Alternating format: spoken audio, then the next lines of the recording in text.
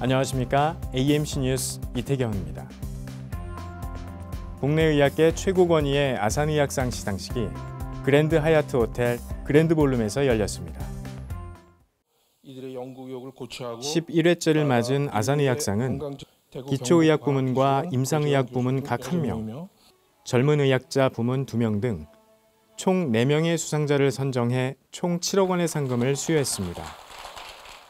재단법인 아산 아산의학상 기초의학 부문 수상자인 카이스트 생명과학과 김은준 석좌 교수는 인간의 뇌 속의 신경세포를 연결하는 시냅스 단백질과 뇌질환의 관련성을 연구함으로써 다양한 정신질환의 발병 원인을 밝혀낸 업적을 높이 평가받아 수상하게 됐으며 서울대학교 의과대학 임상의학 강영주 부문 수상자인 서울대 의대 뇌과학교실 방영주 교수는 신약 개발을 위한 다양한 글로벌 임상 시험을 주도함으로써 국내 항암제 임상 시험의 기반을 확립하고 한국 의학 연구 수준을 국제적으로 인정받는 데 크게 기여하여 수상하게 됐습니다.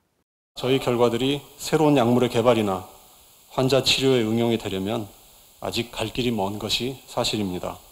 그럼에도 불구하고 주변에 격려와 응원의 손길들이 있다는 것은 실로 큰 위안이 됩니다. 특히 아산 사회복지재단의 고결한 목표와 지속적인 활동에 경의를 표합니다. 임상시험은 아주 많은 시간과 비용을 필요로 합니다. 또 수많은 사람들의 땀, 시간, 헌신을 필요로 합니다. 여러 나라의 많은 연구자, 연구 간호사, 모니터, 그리고 회사의 연구 요원들이 참여하고 그들 모두에 감사드리고 싶고 마지막으로 연구에 기꺼이 참여해 주시는 환자들 그리고 그 가족들에게도 감사를 드립니다. 젊은 의학자 부문, 젊은 의학자 부문에는 면역세포와 신경세포의 기능을 조절하는 핵심 단백질의 구조와 분자 기전을 규명한 카이스트 의과학대학원 김호민 교수와 젊은 의학자 부문, 간암 환자의 생존율을 높이기 위해 다양한 교수, 방법의 연구 결과를 인정받아 연세대 의대 소화기내과 김범경 교수가 수상하게 됐습니다. 오늘 수상자 네 분의 빛나는 업적들은 우리나라 의 과학의 자랑스러운 자산입니다.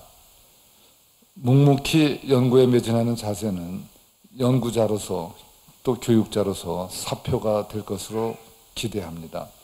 수상자분들께 다시 한번 축하의 말씀을 드립니다.